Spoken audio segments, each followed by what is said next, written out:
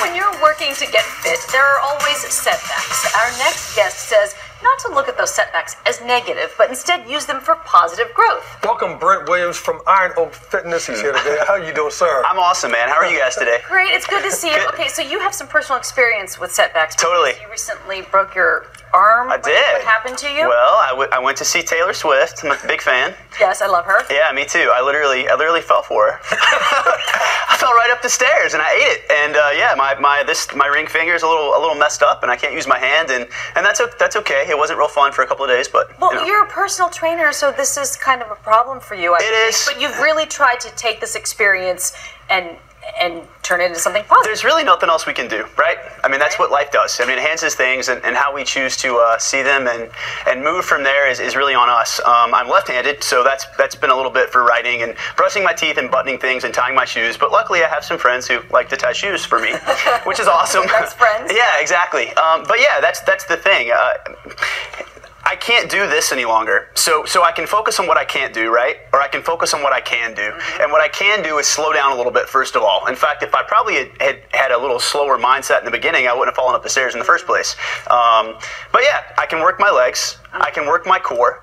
I can focus my meditation practice. I can eat a little cleaner.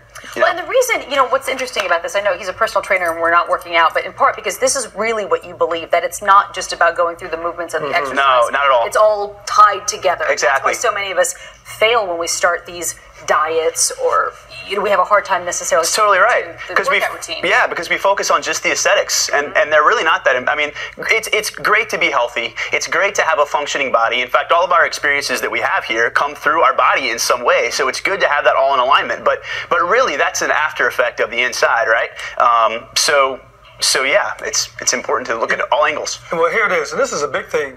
It could have been worse. It totally could have really been. worse. And you talking about practicing gratitude. Now you could really get to experience that. Yeah, I mean, I, this hand works. Both my feet work. You know, I'm, I'm here talking about this with you guys right now, and hopefully inspiring people to to uh, to focus on the positives in their life. I mean, I could leave here and have a flat tire, but you know, that's okay. I have a car that has a flat tire, and I have means to fix it. And and uh, anything can be an obstacle, right?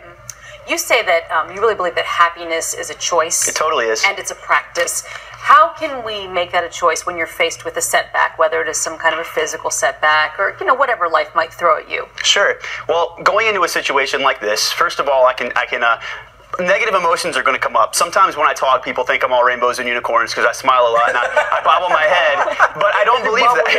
yeah, exactly. Um, but but negative emotions come up. Of course, I was a little depressed. Of course, there's a Ben and Jerry's down the street, and I uh, had some chunky monkey ice cream quite a few times. But but then you have to pull it together and you got to move on, right? Right. That's what you have to do. So so what I can do going into this situation is what can this situation teach me? Right? And then what can I bring to this situation that's going to better the situation for my clients? Right? I'm becoming a better trainer because I'm able to, to sympathize and empathize with injury that they've had. So it slows me down a little bit. Maybe there are things I can do that they can't. Now I can come from a slower perspective. Um, I'm also learning to articulate myself a little better. I can't demonstrate some things, so it's helping me in that way, right? That's good. And here's another thing that it, it, it really does too. It's you're still allowed to go ahead and work out. I mean, you just have to just modify things, and maybe the modifications may be an improvement for you. That's exactly right, and it, and it helps me become a better trainer because then the next time this happens for someone else, I can show them ways to work around it. And and you know there are setbacks in all aspects, not just our, phys- or, you know our physical, or, you know financially, whatever. But you, you focus on the other ways to move forward in your life, and that's what you do. I mean, that's we're going to be doing this forever, so you know. You also like to focus um, and get people to focus on opportunities that lie ahead.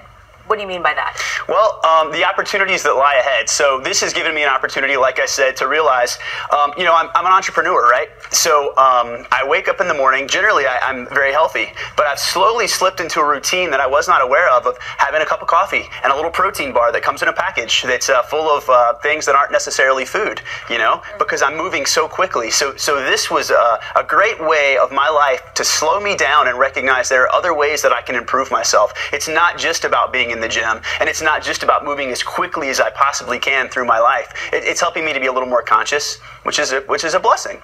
Do you have to remind yourself in the morning that okay, this is a new day, and I'm going to attack this day differently uh, now that whatever the adversity is something that may Totally. It's real easy to remember that when I'm in the shower like this. that's that's the easiest way. But yeah, um, so yeah, that I, I, I, do have to do that. It, it helps me stay um, stay um, in the moment a little more because I have to instead of projecting myself into the future that I've always done. Have to think about how things are going to be a little different, which means I'm more conscious of the steps I take, which means I can better myself in lots of aspects, right?